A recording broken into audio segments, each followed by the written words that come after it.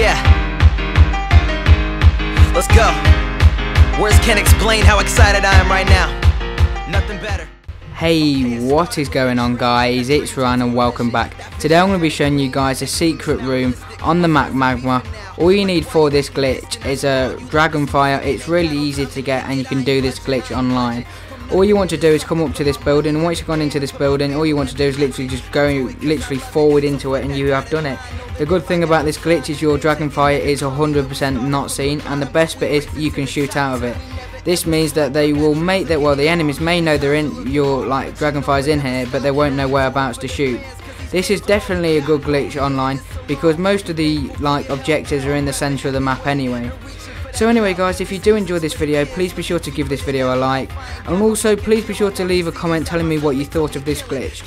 So anyway guys, I will see you guys next time and I really hope you enjoyed the video. Stopping, until I get it, get it. And know I'm grateful for all you put me up in this building. And so you,